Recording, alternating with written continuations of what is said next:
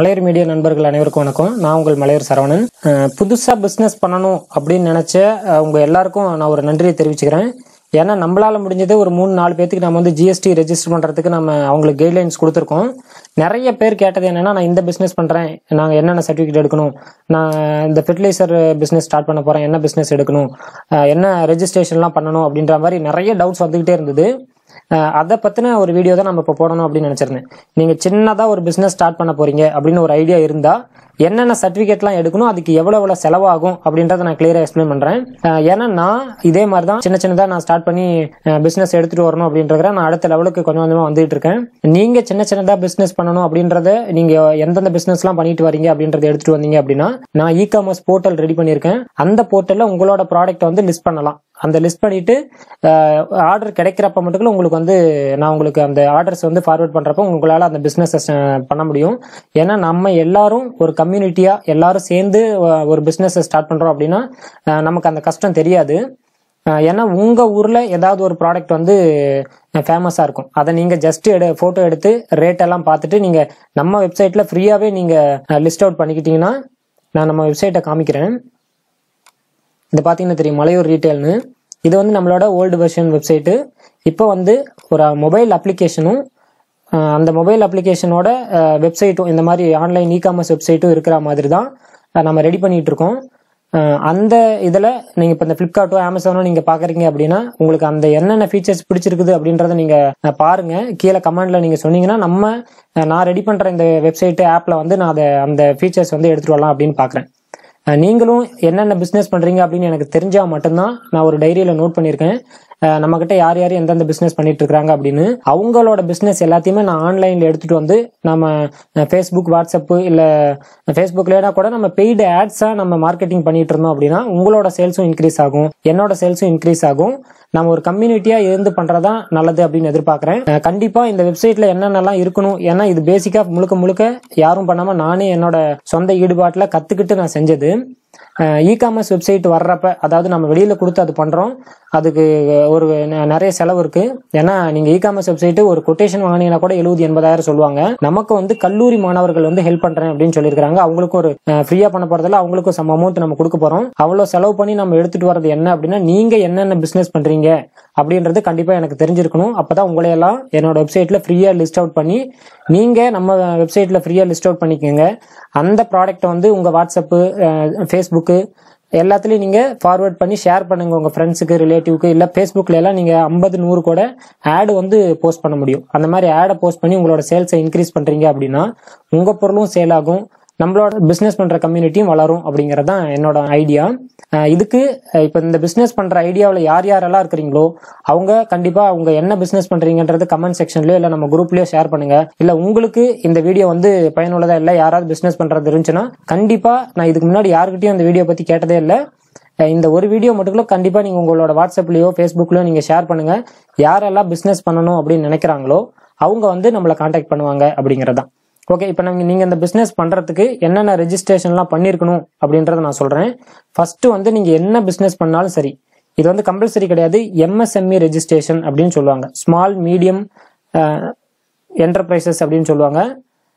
அது என்ன அப்படின்னா எம்எஸ்எம்இ சர்டிஃபிகேட்ல உத்தியோ உத்தியோக் ஆதார் அப்படின்றத இப்போ மாத்திட்டாங்க. உதயம் ரெஜிஸ்ட்ரேஷன் அப்படின்னு இப்போ மாறி இருக்கு. முதல்ல வந்து உத்தியோக் ஆதார் அப்படின்னு இருந்துச்சு. அதுக்கு அதை நான் எப்படி ரெஜிஸ்டர் பண்ணணும் அப்படிங்கிறதையும் உங்களுக்கு வந்து நான் ஏற்கனவே ஒரு வீடியோவில் போட்டிருப்பான்னு நினைக்கிறேன். உதயம் ரெஜிஸ்ட்ரேஷனு அங்கே பாருங்க உதயம் ரெஜிஸ்ட்ரேஷன் நான் போட்டிருக்கேன். இந்த ரெஜிஸ்ட்ரேஷன் பண்ணுறதுக்கு வந்து ஃப்ரீ தான். இது வந்து நீங்களா அப்ளை பண்ணீங்க அப்படின்னா ஃப்ரீயாக கிடைச்சிருது. ஒன் ஒரு நாள் இல்லைன்னா ரெண்டு நாளையிலே உங்களோட மெயிலுக்கு கிடைச்சிருது. ஃபர்ஸ்ட் எம்எஸ்எம்இ பண்ணிக்கங்க. மாண்டேட்ரி கிடையாது. ஆனால் நீங்கள் பண்ணி வச்சிருக்கிறது ரொம்ப நல்லது ஸ்மால் ஸ்கேல் இண்டஸ்ட்ரீஸில் ரெண்டாவது வந்து எஃப்எஸ்எஸ்ஏஐ சர்டிஃபிகேட் அதாவது ஃபுட் லைசன்ஸ் எடுக்கணும். இதுவும் கம்பல்சரி கிடையாது. யார் யாரெல்லாம் உணவுப் பொருளை வந்து தயார் பண்றீங்க இல்ல வாங்கி விற்கிறீங்க அப்படிங்கிறவங்க மட்டும்தான் பண்ணணும். ரெண்டு பேருமே பண்ணணும். இப்ப நான் வந்து என்னோட வீட்டில் வந்து நான் உற்பத்தி பண்றேன் உணவுப் பொருளை. நான் அதை வந்து எங்க ஊர்ல வந்து சப்போஸ் இந்த ராகி ஃபிளார் இருக்கு இல்ல கம்பு கேழ்வரகு இந்த மாதிரி நவதானியங்கள் அந்த தானிய ஐட்டம்லாம் சொல்லுவாங்க இல்லைங்களா? ஹெல்தி ஃபுட்டுன்னு அந்த மாதிரி இருக்கு. இல்லை எங்க வீட்லயே நாங்கள் வந்து மசாலா ஐட்டம் ரெடி பண்றோம் அப்படின்னா நீங்க உற்பத்தி பண்றவங்களா இருந்தாலும் கண்டிப்பா எஃப்எஸ்எஸ்ஏஐ ரெஜிஸ்ட்ரேஷன் எடுக்கணும். இல்லை இன்னொருத்தர்கிட்ட இருந்து வாங்கி நான் விற்க போறேன். அது வந்து உணவுப் பொருள் அப்படின்ற பட்சத்துல கண்டிப்பா நீங்க எஃப்எஸ்எஸ்ஏஐ சர்டிபிகேட் எடுத்திருக்கணும். அந்த எஃப்எஸ்எஸ்ஏஐ சர்டிஃபிகேட்டும் நான் உங்களுக்கு தனியாக அந்த வீடியோ போட்டிருக்கேன். அந்த பேக்கிங் எல்லாம் என்னென்ன இருக்கணுன்ற டீட்டெயில் போட்டிருப்பேன். ஏன்னா இது எப்படி அப்ளை பண்ணணுன்ற வீடியோ கிடையாது. ஏன்னா நீங்க யூடியூப்லேயே சர்ச் பண்ணீங்கன்னா உங்களுக்கு அந்த எப்படி அப்ளை பண்ண நிறைய வீடியோஸ் இருக்கு. நீங்க அதையும் பார்க்கலாம். இல்ல நீங்க வெளியில கொடுத்தீங்கனாலும் நூறு இரநூறுல முடிஞ்சிடும் இந்த எஃப்எஸ்எஸ்ஐ சர்டிஃபிகேட்டை நம்ம எடுக்கிறதுக்கு எவ்வளவு செலவாகும் அப்படின்னு பாத்தீங்கன்னா அஞ்சு வருஷத்துக்கு ஐநூறுரூபா மட்டும்தான். ஒரு வருஷத்துக்கு நூறுரூபா அஞ்சு வருஷத்துக்கு ஐநூறுரூவா எடுக்கணும். ஃபர்ஸ்ட் எம்எஸ்எம்இ ரெஜிஸ்டர் பண்ணிக்கோங்க. அடுத்து வந்து ஃபுட் ப்ராடக்டா இருந்தா மட்டும் எஃப்எஸ்எஸ்ஐ பண்ணுங்க. நான் ஃபுட் ப்ராடக்ட் கிடையாது. வேற ப்ராடக்ட் ஃபுட் ப்ராடக்ட் இல்லாம வேற எந்த ப்ராடக்டா இருந்தாலும் எஃப்எஸ்எஸ்ஐ மாண்டேட்டரி கிடையாது தேவை கிடையாது. மூணாவது ஜிஎஸ்டி எடுக்கணும். அந்த ஜிஎஸ்டி வந்து நம்ம இப்போ பொருளை வந்து ஆன்லைனில் சேல் பண்ணுறோம் அப்படின்னா கம்பல்சரி நீங்கள் ஒரு ரூபாய்க்கு சேல்ஸ் பண்ணாலும் ஆன்லைனில் சேல்ஸ் பண்ணீங்கன்னா நீங்கள் வந்து ஜிஎஸ்டி கண்டிப்பாக எடுத்தாகணும். இல்லை நான் ஆன்லைனில் சேல் பண்ணல ஆஃப்லைனில் சேல் பண்ணுறேன் அப்படின்னா இருபது கோடி வரைக்கும் அதாவது டுவெண்ட்டி லேக் இருபது லட்சம் வரைக்கும் நீங்கள் வந்து ப்ராடக்ட்டை சேல் பண்ணுறீங்கன்னா இருபது லட்சம் வரைக்கும் உங்களுக்கு வந்து ஜிஎஸ்டி தேவையில்லை.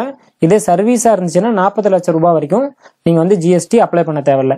இதுவே ஆன்லைனில் நம்ம ப்ராடக்ட்டை சேல் பண்ணுறதா இருந்துச்சுன்னா கம்பல்சரி நீங்கள் வந்து ஒரு ரூபாய்க்கு சேல்ஸ் பண்ணுறதா இருந்தாலும் ஜிஎஸ்டி அப்ளை பண்ணணும்.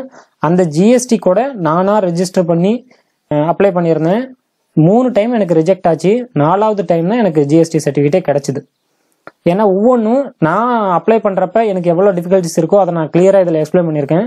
நீங்களும் அதை ரெஜிஸ்டர் பண்ணி வச்சுக்கோங்க. சப்போஸ் உங்களுக்கு ஜிஎஸ்டிலேயோ இல்லை எஃப்எஸ்எஸ்ஏலையோ நீங்கள் வந்து ரெஜிஸ்டர் பண்ணுறப்ப ஏதாவது ஒரு ஃபீல்டு உங்களுக்கு தெரியல அப்படின்னா கீழே கமெண்ட் பண்ணுங்க. இல்லைன்னா டெலகிராம் குரூப் இருக்குது அதுக்கு வாங்க. எனக்கு எனக்கு நீங்கள் மெசேஜ் போட்டிங்கன்னா உடனே உங்களுக்கு ரிப்ளை பண்ணுறேன் உங்களுக்கும் நான் கைடன்ஸ் கொடுக்குறேன் எது எதெல்லாம் ரெஜிஸ்டர் பண்ணணும் அப்படின்னு. இந்த மூணு மட்டும் மேண்டேட்டரி எடுத்து வச்சுக்கோங்க.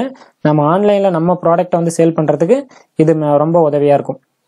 இல்லை என்னால் எந்த பொருளும் நான் உற்பத்தி பண்ணலை அப்படின்னா நீங்கள் ஜஸ்ட் நீங்கள் வேற ஒரு வேலை செஞ்சிட்டு இருப்பீங்க. அந்த வேலை செஞ்சிட்டு இருக்கிறப்ப கூட போற வழியில நேச்சுரல் ப்ராடக்ட் ஏதாவது இருக்கு இல்ல இல்ல உங்களுக்கு தெரிஞ்ச கடையில இந்த ப்ராடக்ட் வந்து ரொம்ப நல்லா இருக்கும் அப்படின்னு நீங்க ஃபீல் பண்ணீங்க அப்படின்னா அந்த ப்ராடக்ட்டோட ரேட்டு தெரிஞ்சுக்கங்க. கொரியர் பண்றதுக்கு எவ்வளவு ரேட்டுன்னு பார்த்துக்கிட்டு நம்ம ஆன்லைன்ல சேல் பண்ணலாம். இதுக்கு ஜஸ்ட் இந்த ரெஜிஸ்ட்ரேஷன் மட்டும் நீங்க பண்ணி வச்சுக்கிட்டீங்கன்னா இந்த மூணு ரெஜிஸ்ட்ரேஷனுக்கு மொத்தமா பாத்தீங்கன்னா எம்எஸ்எம்இ பண்றதுக்கு ஃப்ரீ தான். எஃப்எஸ்எஸ்ஐ ஃபுட் ப்ராடக்டா இருந்துச்சுன்னா அஞ்சு வருஷத்துக்கு உங்களுக்கு ஐநூறு ரூபாயோட முடிஞ்சிரும். ஜிஎஸ்டி ஃப்ரீ தான். ஆனா நீங்களா பண்ணீங்கன்னா ஃப்ரீயா இருக்கும். வெளியில நீங்க கொடுத்தீங்கன்னா ஒரு ஆயிரம் ரூபாய் ஐநூறு ரூபாய் செலவாகும்னு நினைக்கிறேன். மொத்தமா பாத்தீங்கன்னா இந்த எம்எஸ்எம்இ ஜிஎஸ்டிக்கு ரெண்டு ஃப்ரீ ஆயிடுது. எஃப்எஸ்எஸ்ஐ மட்டும் ஒரு ஐநூறு ரூபாயில முடிஞ்சிருது. இதை மட்டும் நீங்க ரெஜிஸ்டர் பண்ணி வச்சுக்கிட்டீங்கன்னா நீங்க உங்க நீங்க வேலைக்கு போற இடத்துலயோ இல்ல வேற ஏதாவது வேலையில இருக்கிறப்பயோ உங்க கண்ணுக்கு தென்படுற நல்ல பொருளா இருந்துச்சுன்னா நீங்க ஆன்லைன்ல சேல் பண்ணலாம் அப்படிங்கறதா இந்த வீடியோவை உங்களுக்கு பிடிச்சிருந்துச்சுன்னா லைக் பண்ணுங்க. பிசினஸ் பண்ணணும் அப்படின்னு நினைக்கிற யாருக்காவது உங்க ஃப்ரெண்ட்ஸ் ரிலேட்டிவ் இருந்துச்சுன்னா கண்டிப்பா இந்த வீடியோ ஷேர் பண்ணுங்க. அவங்களுக்கும் உபயோகமா இருக்கும். வேற ஒரு நல்ல வீடியோவில் சந்திப்போம். நன்றி நண்பர்களே.